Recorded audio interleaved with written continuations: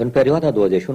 iunie anul curent, o delegație a Marinei Militare a Greciei, condusă de șeful statului major al acesteia, viceamiralul George Ioannidis, efectuează o vizită în țara noastră la invitația domnului viceamiral Traian Atanasiu, șeful statului major al forțelor navale române.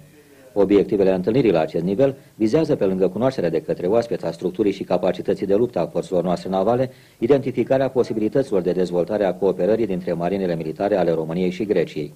În cadrul briefingului, viceamiralul Traian Atanasiu s-a arătat interesat de experiența partenerilor elen privind procesul de reformă instituțională la standarde occidentale și a făcut propuneri de promovare reciprocă a imaginii celor două flote de luptă. S-a căzut de acord că trebuie adâncită cunoașterea reciprocă prin activități navale comune și îndeoseb la nivelul conducerii forțelor. De aceea, în programul oaspeților, au fost incluse vizite de documentare la Centrul de Scafandri, Distrugătorul Mărășești, Academia Navală Mircea cel Bătrân și Flotila de Dunăre, adică tot atâtea prilejuri de stabilire punctuală a unor acțiuni pentru îndeplinirea obiectivelor amintite.